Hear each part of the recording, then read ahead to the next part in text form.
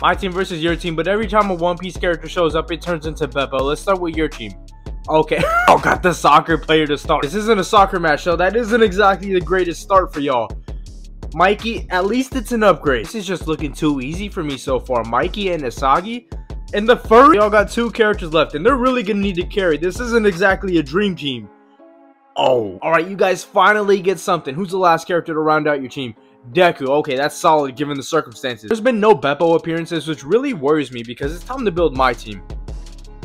I'm starting off with Bepo. You know what? I'm fine. Bepo is taking out most of your team anyway.